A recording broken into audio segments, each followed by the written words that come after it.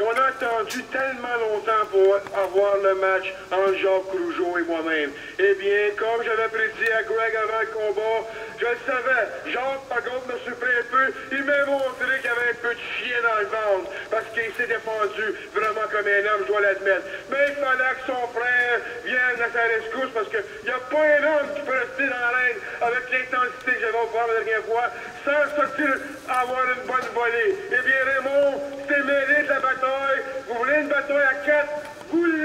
84. Jérôme oui, la nouvelle équipe de rêve. Et on va établir le record. Greg, we're going to establish a record in the Forum. You know, their uncle was never beaten in the Forum. Their father was never beaten in the Forum. Now, we're going to beat both of them the same night in the Montreal Forum. There are a lot of people trying to say that I interfered. Well, I'll tell you what, it was just supposed to be Jacques Rougeau against Dino Bravo, one-on-one. -on -one. But as it turned out, his brother, his punk Raymond, jumped into the ring, Somebody jumped in the ring. The hammer jumped into the ring, and now a sign shield is delivered. N'oubliez pas, le 25 mai au Forum de Montréal, soyez présents.